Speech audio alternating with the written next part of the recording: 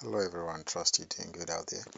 Right here in this video i'll be showing you how to uh, how to hide and or hide your number. For a while i've been struggling with it so i found the solution which is very easy. So let me do that because some of you that may be having the issue the disadvantage of this privacy is that it will even restrict calls from entering your phone. Like from my a lot of my clients who call me they will say my number is not going and the rest and when i call some people they will tell me uh, uh, mm, me i can call but they cannot call me.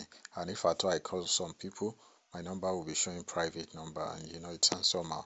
So it's very simple to activate it. To activate it you don't need to press anything. It's just very simple. Look at it. Just press star 31 hash. Call the particular sim that is having the issue. My own is sim 2 so i'm clicking on sim 2 and you can see what it's showing now this is hide outgoing call enabled you see. Like right now if i call now anybody i'm calling now it will be showing privacy and they cannot call me.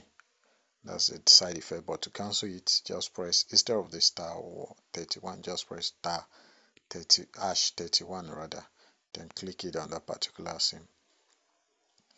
Once you do this now you can see now hide outgoing call id service has been disabled. So now anybody can call me.